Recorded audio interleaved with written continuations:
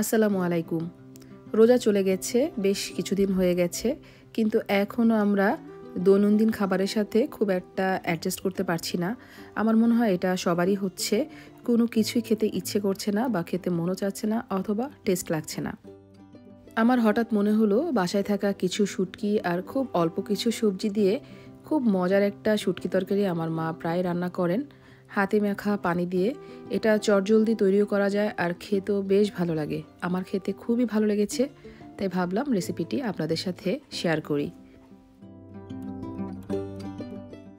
এই শুটকি কারিটা রান্না করার জন্য এখানে আমি তিন চার রকমের শুটকি নিয়ে নিয়েছি। এগুলো যদিও দোকান থেকে কেনা, কিন্তু ছোটবেলা থেকেই দেখতাম আম্মা বাসায় এই চান্দা, পুটি ট্যাংরা, বাতাসি সব মাছের শুটকি বাসাতেই তৈরি করতেন, অর্থাৎ রোদে শুকিয়ে তৈরি করে নিতেন। তো হাতে বানানো শুটকি দিয়ে এটা খেলে বা রান্না করলে আরও অনেক বেশি টেস্টি হয়। আমি এখানে কেনা তিন চার রকমের শুটকি নিয়ে নিয়েছি, আর এই শুটকিটাকে ভেজে নিতে হবে একটু সময় নিয়ে, প্রায় বারো থেকে পনেরো মিনিটের মতো অল্প আছে ভেজে নিতে হবে। আর খুব সুন্দর একটি স্মেল বের হবে যখন পনেরো মিনিট পর, তখন শুটকিটাকে ভালো করে ধুয়ে নিতে হবে।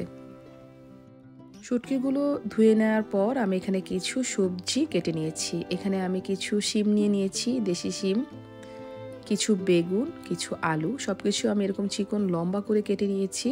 যেহেতু শুটকিগুলো খুব ছোট ছোট, আর সাথে নিয়ে নিয়েছি একটু বেশি করে লাউ পাতা।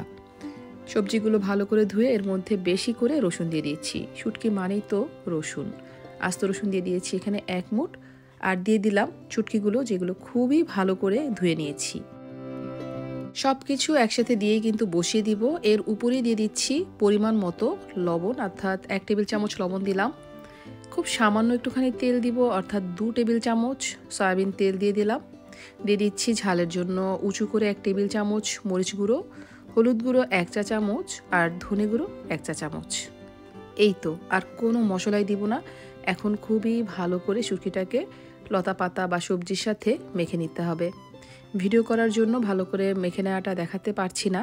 এটা কিন্তু খুবই ভালো করে মেখে নিতে হবে, অর্থাৎ সব মশলাগুলো এই সবজির সাথে ভালো করে মেখে নিতে হবে।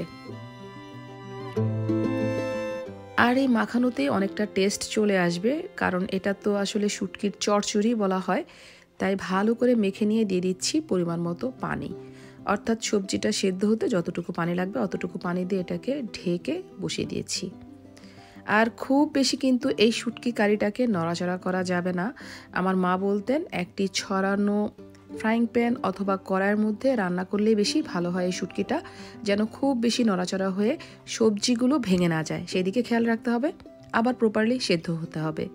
তাই ঢেকে ঢেকে মাঝে মাঝে নাড়াচাড়া করে যখন একদম পানিটা শুকিয়ে গেছে, শেষ পর্যায়ে লবণটা চেক করে নিয়ে দিয়ে দিচ্ছি এক মুঠ ধনে পাতা কুচি আর দিয়ে দিচ্ছি কিছু আস্ত কাঁচামরিচ। জাস্ট আর পাঁচ মিনিটের মতো চুলায় রেখেই নামিয়ে নিলে তৈরি হয়ে যাবে অসম্ভব মজার এই শুটকির চরচড়ি বা শুটকি তরকারি। আপনারা এর সাথে অন্য কোনো সবজিও দিতে পারেন, যেমন পটল, ঝিঙে বা মূলা, অন্য কিছু দেওয়া যেতে পারে। তবে আম্মা এই শুটকির চরচড়িটা এই তিন চারটা সবজি দিয়েই করে থাকেন আর খেতে এত বেশি টেস্টি হয়। সত্যি বলছি, রোজা যাওয়ার পরে মনে হয় এই শুটকি কারিটা দিয়েই একটুখানি ভাত খেলাম। তৃপ্তি সহকারে। আজকের মতো এখানেই বিদায় নিচ্ছি। সবাই ভালো থাকবেন। আল্লাহ হাফেজ।